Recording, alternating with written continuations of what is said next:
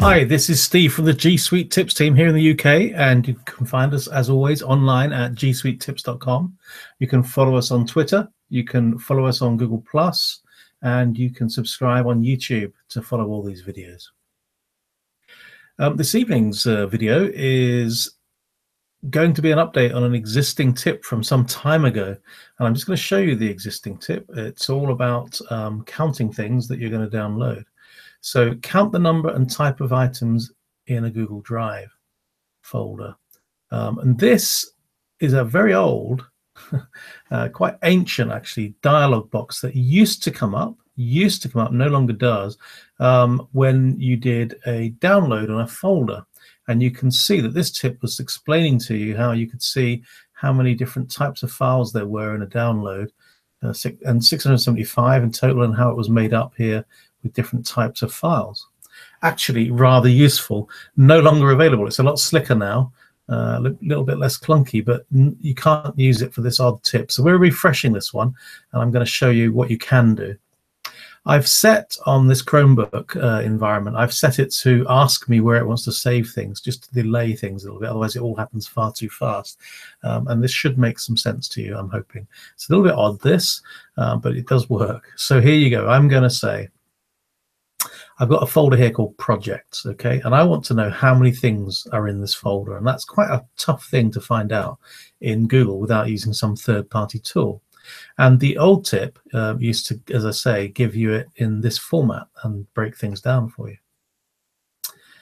Uh, now that no longer happens. So watch what does happen. If I right click on here, I can click download and this will zip things up. So we need to be watching carefully. It's zipping, okay? And it will tell me how many things uh, it's putting into this zip file. So we're going to watch here where I'm moving my mouse around. Okay, and it should tell me the number of files that are involved in this zip file. I can't do this without it creating a zip file. It feels a bit like I'm cheating it here because it's doing all the work, but I'm not actually going to use it. 16 files zipped, it says there. Okay, and this message you'll watch, this will, I'm not getting rid of it, it just goes away. So you have to be watching. And it's told me 16 files, but it hasn't told me the makeup of those files.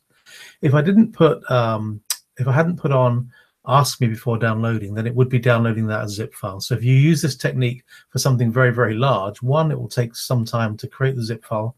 You don't get very long to see the message. Okay. It doesn't give you a breakdown like the old one did. Okay. And it would start downloading automatically unless you've told Chrome to ask you first, which I did in this case. So I'm just been teasing it. I'm not really going to do that. I'm going to cancel. So I'm not sure how useful that really is. I think there are some third-party tools out there you might find more useful, give you more information uh, than this one.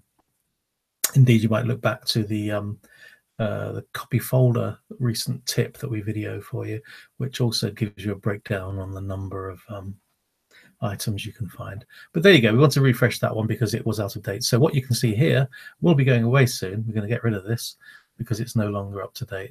Uh, it's from some time ago. I hope that's of some use. a little bit dubious at best, but um, wanted to update it anyway and give you the new information. So thank you very much for watching. Um, reminder that you can find us at gsuitetips.com and you can follow us on Twitter, Google Plus, and subscribe on YouTube. And this is thank you very much from Steve in the UK, and I'll see you on the next one.